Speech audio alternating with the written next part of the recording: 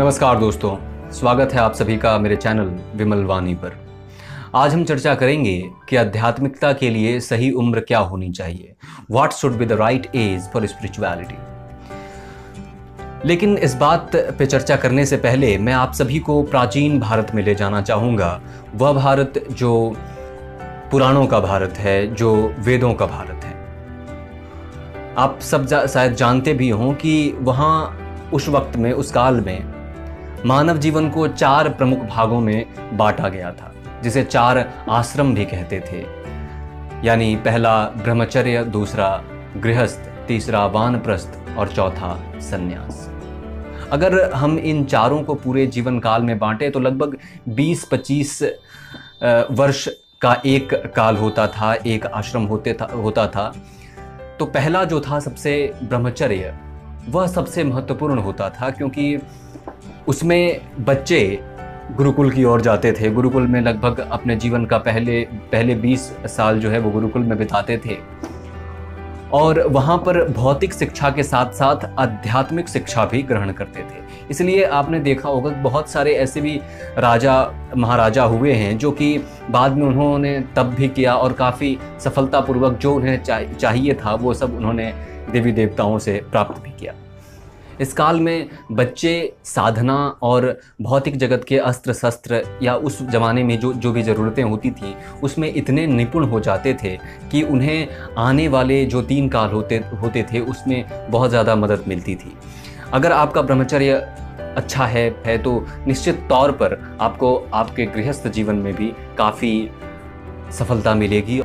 इसके बाद वानप्रस्थ में भी ब्रह्मचर्य की वजह से लोगों को काफ़ी मदद मिलती थी, क्योंकि एक साधना करने की जो आदत है, वह बचपन से ही बनी हुई होती थी। तो वो आसानी से अगर वो वानप्रस्थ का अर्थ होता है कि जंगल की ओर, वन की ओर प्रस्थान करना तो वन में जाने के बाद भी वो आसानी से जी सकते थे, क्योंकि पहले जो उन्होंने 20 वर्ष अपने गुजारे हैं, वो लगभग गुरुकुलों में और वैसी ही जगहों पर गुजारे हैं, जहाँ वो राजाओं या महलों का सुख उन्हें नहीं प्राप्त हुआ।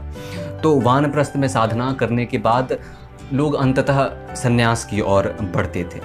अब जरा आते हैं आज के दौर में, आधुनिक युग में। आज क्या हो रहा है? आज ऐसा कोई काल नहीं है हमारे जीवन में।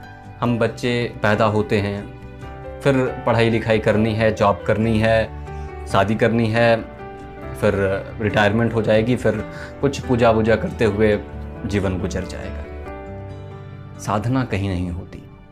खुद को साधने की, खुद की आध्यात्मिक चेतना को ऊपर करने करने की कोशिश कहीं नहीं होती।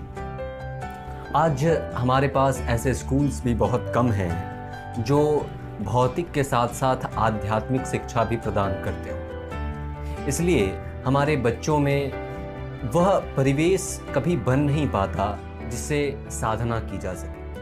अब चूँकि हमारे बच्चों के पास लगभग हर प्रकार की सुविधा मौजूद है बस से स्कूल जाते हैं फिर स्कूल में एसी आदि सारी सुविधाएँ जो है वहाँ पर पड़ी हुई है। तो आप ऐसे बच्चों से यह उम्मीद नहीं कर सकते कि आप उन्हें, उसे एक दिन अचानक ही कह दें कि आलथी पालथी मार कर बैठ जाओ यार एक घंटे, पर ये नहीं हो सकता, क्योंकि वो नहीं बैठ पाएगा, क्योंकि वह बचपन से ही उसे आराम का जीवन मिला है, हर चीज़ सुविधाएँ मिली है। तो उसे आप यह नहीं कहें कह पाएँगे कि कहीं वो बैठ जाए या किसी आसन को लगा सके, यह उसके लिए बहुत मुश्किल है। अब इसी बात में हमारे उस सवाल का उत्तर भी छुपा हुआ है कि आखिर साधना या आध्यात्मिकता के लिए सही उम्र क्या है? लोग, क्योंकि लोग कहते हैं कि साठ वर्ष के बाद जो है अच्छा है ये सब करना। पर ज़रा सोचिए कि जिस व्यक्ति ने कभी बचपन में क्रिकेट ना खेला हो, उसे आप अचानक कहें कि 60 साल के बाद आए और छः बॉल पर छः छक्के मार दे। या बचपन में जिसने कभी फुटबॉल नहीं खेला हो, उसे आप अचानक से फुटबॉल दे दें खेलने को और कहें कि नहीं भैया, हर हर बात आप गोल करके दिखाओ। यह पॉसिबल नहीं है। ठीक उसी प्रकार से एक बच्चे के लिए भी जब वह बड़ा होता है, जैसे जैसे उसकी उम्र बीतती जाती है, उसके लिए भी यह संभव नहीं है कि वो ध्यान लगा सके। क्योंकि उसने कभी उसकी आदत उसे पड़ी ही नहीं है। वह बहुत मुश्किल हो जाएगा उसके लिए साधना में बैठना, उसका मन ही नहीं लगेगा।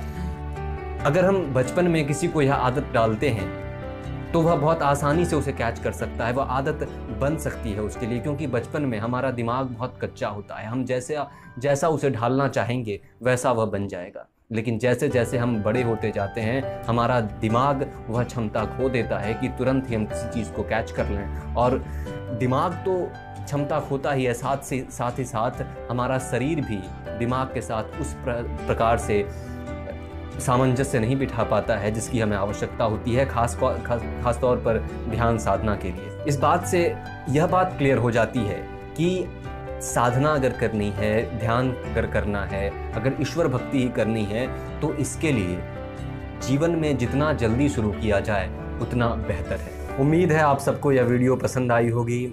आगे भी देखते रहें, सुनते रहें और हाँ याद करके चैनल सब्सक्राइब अवश्य कर लें और पास वाला जो बेल बटन है उसे भी दबा दें ताकि आपको हमारी, मेरा जो वीडियोज़ है वह जल्द से जल्द मिलता रहे और आप सब इसे देख सकें। बहुत बहुत